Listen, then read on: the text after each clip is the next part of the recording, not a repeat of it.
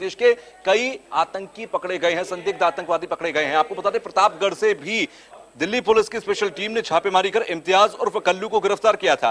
वहीं इम्तियाज़ की पत्नी का कहना यह है कि उनके पति निर्दोष हैं। वो मुंबई में सिलाई का काम करता था और कोरोना काल में ही वो अपने गाँव आया था। यहाँ पर मछली पालन और मुर्गी पालन का काम करने लगा।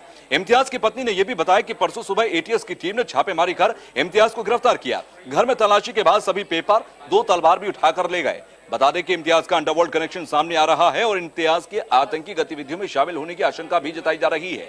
वहीं यह संदिग्ध आतंकवादी विधानसभा चुनाव और त्योहार पर आतंकी घटना को अंजाम देने की फिराक में थे। तो कुल मिलाकर नौ आतंकवादियों, संदिग्धों को फ़िलहाल दिल्ली की दिल्ली पुलिस की स्पेशल सेल ने गिरफ़्तार किया। और इसके बाद आपको बता दें कि इसमें से छह ऐसे संदिग्ध थे जो कि सिर्फ़ उत्तर प्रदेश से ताल्लुकात रखते थे। इस बात की को आप समझिए। कि एक बड़े स्तर पर कोशिश की जा रही थी उत्तर प्रदेश के विधानसभा चुनावों को टारगेट करने की।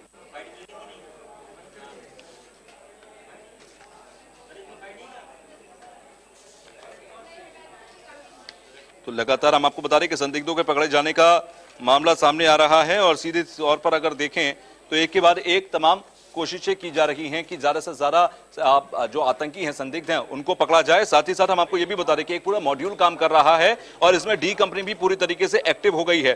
तो डी कंपनी के एक्टिव होने के बाद अब ज़्यादा चिंताएँ बढ़ चुकी हैं।